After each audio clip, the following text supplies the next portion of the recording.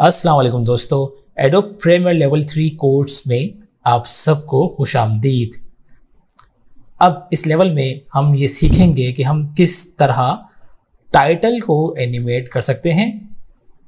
हम colour correction को समझेंगे ग्रीन स्क्रीन क्रोमा की बात भी करेंगे और फिर ट्रांजिशन को बनाने का प्रोसेस भी सीखेंगे।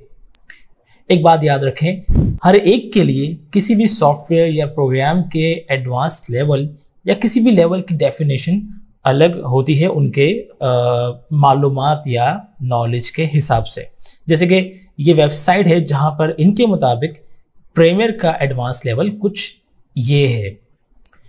इनमें से कुछ ऐसी चीज़ें हैं जो हम लेवल टू में कर चुके हैं। बहरहाल ये तो एक तमहीद बांधने वाली बात थी।